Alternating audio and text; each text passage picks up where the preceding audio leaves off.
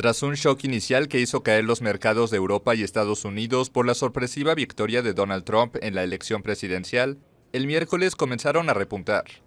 La bolsa de Nueva York abrió a la alza, mientras que Londres cerró con una ganancia de 1%, Frankfurt 1,6 y París 1,5.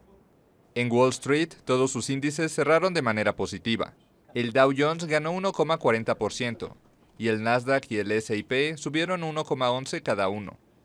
Sin embargo, México sí sufrió el resultado electoral en Estados Unidos. Al cierre de la jornada, la bolsa mexicana perdió 3,18% y el peso se devaluó 7,18%. El dólar interbancario se cotizó en 19,91 pesos contra los 18,64 del martes. Estados Unidos es el principal socio comercial de México y destino del 80% de sus exportaciones. Pero el ahora presidente electo advirtió con renegociar el Tratado de Libre Comercio de Norteamérica.